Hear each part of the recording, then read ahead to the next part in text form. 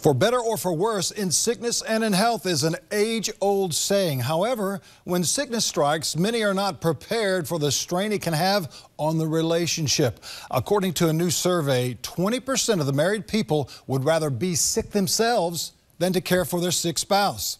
Licensed psychotherapist and relationship expert Rachel Sussman coming in from New York City today, joining us this morning with some advice on how to better care for your better half. Good morning, Rachel. How are you? Good morning. Thanks for having me. Well, you know, it, it, it really gets a little confusing sometimes, but what did you find most interesting about this new survey?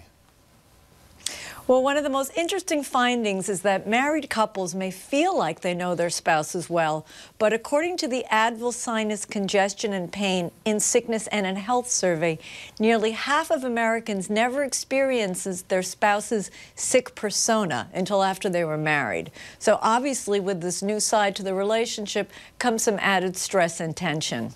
You know, uh, with that, the question now is who complains more when they're ill, men or women? I'm going to say men do. Well, while it definitely varies, the survey did find that twice as many women felt that their husbands complained more when they were sick. Surprise, surprise. And in fact, more than 20% said they believe their husbands exaggerated the severity or duration of their symptoms. That's the way some guys are sometimes. They just they just need that uh, uh, uh, attention and that little pampering and so forth. Now, how can spouses minimize the stress on their relationship when one partner is sick? It's a great question. And the keys to avoiding the friction when, when your partner is sick is really about patience and preparation. First, be sure to keep the medicine cabinet stocked with products like Advil sinus congestion and pain to combat cold and flu symptoms. That's your preparation. And then there's lots of little things you can do to make someone feel better.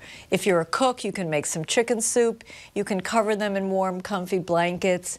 You can keep the DVR stocked with his or her favorite shows or movies. That's really a great one. I know I enjoy that.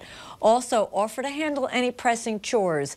Schedule a doctor's important, appointment, and that's really important, important because a lot of men complain, but then they won't make a doctor's appointment.